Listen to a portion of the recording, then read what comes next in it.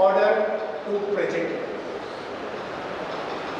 और ये आउटलाइन बनाकर ही मुमकिन है पॉसिबल है। रैंडम अगर आप करना चाहेंगे तो मेरा ऐसा विश्वास है और मेरा अपना एक्सपीरियंस है कि कर पाना बहुत मुश्किल है। Unless unless you have become so well conversion in research paper writing that you don't require to go back to the steps that are there on while doing research. So to avoid getting complicated,